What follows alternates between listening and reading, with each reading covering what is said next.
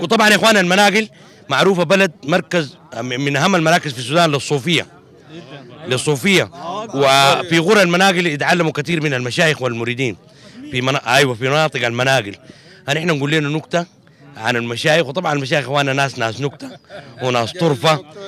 يعني لا جاهزة جاهزة الكرتونة جاهزة. أحمد دايرة نكتة ولا كرتون؟ أي حاجة ماشي. أي حاجة ماشي. لا نكتة ولا كرتون؟ كرتونة. كرتون. ندي الكرتونه وندي الناس يشاركونا النكتة يا إخوان. طبعا يا إخوان المشايخ هزول بيلقى لهم يعني تلقى لهم في الحوجة تلقى لهم ينصحوك تلقى لهم يدعوا لك تلقى لهم يعني في الحياة الكبيرة. في ناس عندنا الكبيرة والصغيرة يمشي بها واحد مساحته قدم الساعة يسال الناس قالوا تسعة قال تسعة خمسه يمشي للشيخ يقول له والله يا شيخ ساعتي قدمت خمسة دقائق دي ما مزول منها فقال واحد من الناس طيبين دي أولاده برا بيرسلوا له وزول مرطب ما إنه شغلة. اليوم ديك فتح المخزن كان قالوا فاري تلب شقف المخزن.